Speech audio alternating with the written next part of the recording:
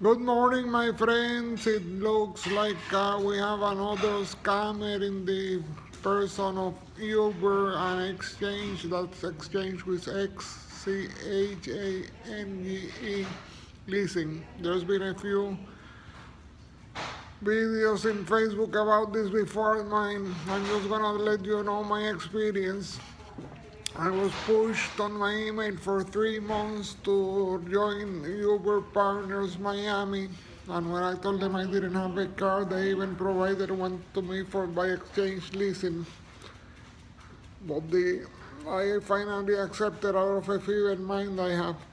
But the uh, deal didn't work out. The card cost 177.45 a week, and I was only making it much enough to pay for it and I was working six, seven hours including the commute, but about three or four hours online to make an average of $30 a, a week.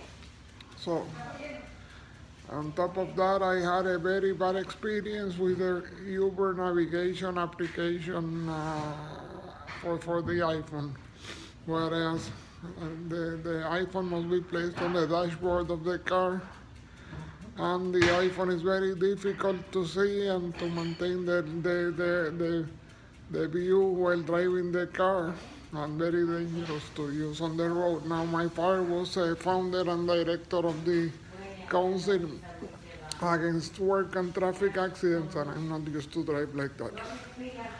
So I tried to return the car and they are not giving me the chance to return the car.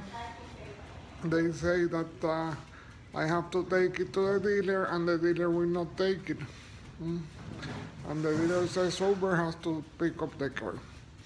So I'm telling them that the keys are here. This is an assisted living facility. I'm 24 hours a day and they can come pick up the keys anytime they want them. And they instead insist in sticking me with a, re, a repossession and charging me all the repossession charges plus the uh, plus the uh, bad credit report as a, as a repossession that I don't want to turn it in or something because I just, I'm in shambles from reading that navigation unit and I'm very nervous and I cannot uh, take it to their place of uh, wherever they find it where I, that I can take it to that they still haven't found where I can take it to.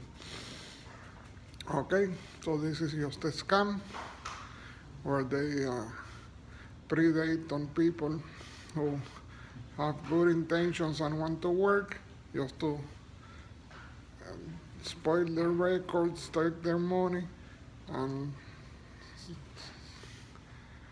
scrap them of their civil rights. Thank you. Bye-bye.